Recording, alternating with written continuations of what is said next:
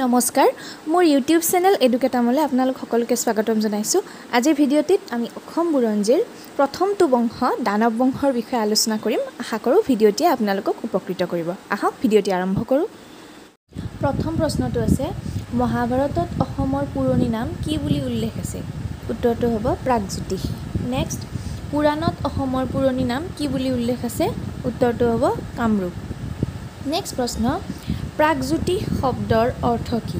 প্ৰাগজ্যোতিষ শব্দৰ অৰ্থ হৈছে প্ৰাচ্যৰ জ্যোতিষ জ্যোতিষ চৰ্চাৰ কেন্দ্ৰ।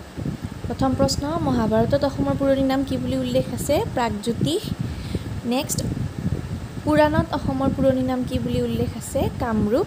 নেক্সট প্ৰশ্ন প্ৰাগজ্যোতিষ শব্দৰ অৰ্থ কি? প্ৰাগজ্যোতিষ শব্দৰ অৰ্থ প্ৰাচ্যৰ জ্যোতিষ চৰ্চাৰ কেন্দ্ৰ।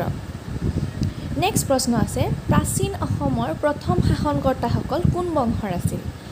উত্তৰটো হ'ব দানৱ বংশৰ। বা প্ৰশ্নটো আমি ক'ব পাৰোঁ যে অসমৰ প্ৰথমটো বংশ কি আছিলে? এইটো আছিলে দানৱ বংশ। দানৱ বংশ অসমত প্ৰথমে প্ৰতিষ্ঠা হৈছিলে। নেক্সট প্ৰশ্ন দানৱ বংশৰ প্ৰতিষ্ঠাতা কোন আছিল? কোনে দানৱ বংশ প্ৰতিষ্ঠা কৰিছিল? ইয়াৰ উত্তৰটো হ'ব মহিৰংগ দানৱ। প্ৰথমটো প্ৰাচীন অসমৰ প্ৰথম শাসনকৰ্তাসকল কোন বংশৰ আছিল? দানৱ বংশৰ। নেক্সট প্ৰশ্ন দানৱ বংশৰ প্ৰতিষ্ঠাতা কোন আছিল? দানৱ বংশৰ প্ৰতিষ্ঠাতা আছিল মহিৰংগ দানৱ। তাৰপিছত নেক্সট প্ৰশ্নটো আহিব প্ৰাচীন অসমৰ প্ৰথম ৰজা কোন আছিল? প্ৰাচীন অসমৰ প্ৰথম ৰজা আছিল মহিৰংগ দানৱ যিহেতু তেওঁ সেই বংশটোৰ প্ৰতিষ্ঠাতা আছিল গতিকে প্ৰথম ৰজাও কোন হ'ব? মহিৰংগ দানৱ। নেক্সট প্ৰশ্ন দানৱ বংশৰ শেষৰজন ৰজা কোন আছিল?